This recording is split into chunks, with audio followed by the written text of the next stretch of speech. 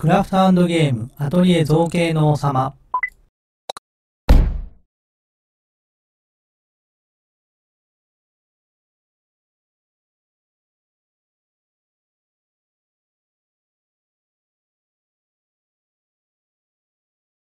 今回から、えーシャープ8回ということで、えーうちのチャンネル特有のね、まあ、一部おそらく、一部の、まあまあ他の人言っちゃいけないかもしれないですけど、同じ、僕と同じ能力を持った方がね、いるかなと思うんですけど、超能力を発動したいと思います。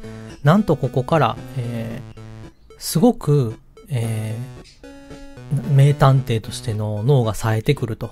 えー今までみたいな、え、どっちどっち行くのっていうのが急になくなります。さあ、それでは見ていただきたいと思います。あれ？なんか死体を調べた方がいいみたいやな。さあ、死体を調べる。船長の様子は、何について調べるんや犯行の手段、現場の様子。これあれかな奥の壁の金庫を調べた方がいいんじゃないかなここやなおや、ここの壁だけなんか変だぞ。金庫だ。あ、金庫が出て、出てくる前に金庫を知ってた。なぜ隠し金庫やな。これ、あと、そうですね。フォークリフトも調べた方がいい気がするな。フォークリフトだ。そして、え？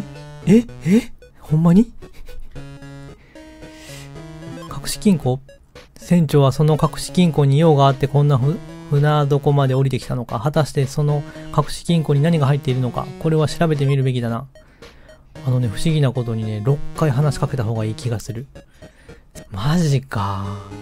え、前回、クロノトリガーで3回話しかけなあかんみたいなのが出てきたけど、6回 ?6 ってある ?6 って。